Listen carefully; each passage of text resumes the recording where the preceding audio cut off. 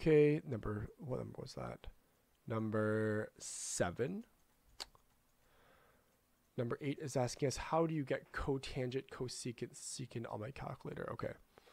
So it's more so a trigonometric ratio, right? Uh, this is number eight, I believe. Is this number eight or number seven? I believe I did number seven. Yeah, this is number eight. Oh, what did I do? Why did I do that? How did I do that? Oh, sorry. Um, number eight here is asking, I want to get these following functions. I want cotangent, cosecant, and secant. So how do I get these guys? Because they don't belong in my calculator, right? So I, I right, now I'm currently using a Casio FX991, and basically you're not in the calculator. You're actually not given these ratios. But what you have to do is actually know the uh, reciprocal ratios for us to uh, figure out our um, our functions here. So let me write them. Let me write something down first. Let me write down a table here.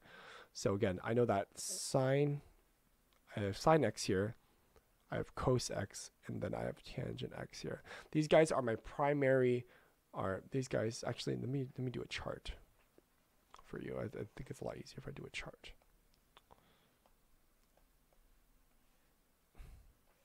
Do a little t-chart here. Uh, actually, wait. Can I redo one of these guys? Yeah.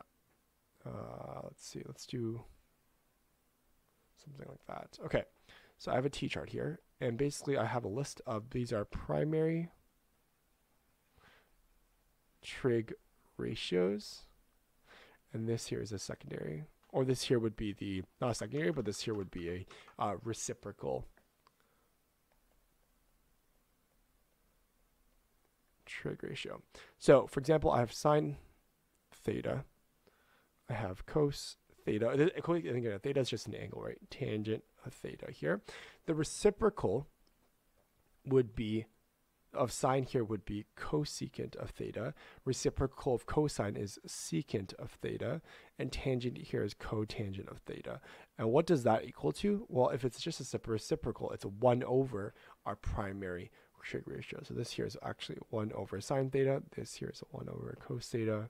This here is 1 over tangent theta. And these guys here are my um, reciprocal trig ratios. And you, you, we can't actually use these, uh, we can't actually plug them into a calculator, but all you're gonna have to do under calculator is simply just plug in one divided by, and then our primary trig ratio as well. So this solution um, is correct because they're doing 1 over tangent of A, which is cotangent, 1 over sine of A, which is cosecant, and 1 over secant here is cosine, 1 over cosine here. So the solution here is correct.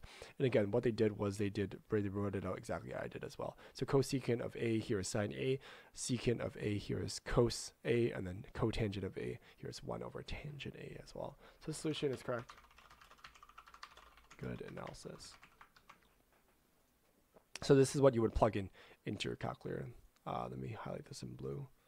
These guys here are going to be plugged into your calculator here.